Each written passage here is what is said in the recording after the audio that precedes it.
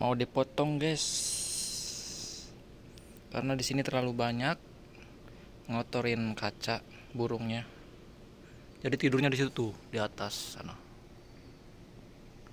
Ini yang udah terjebak nih yang kena.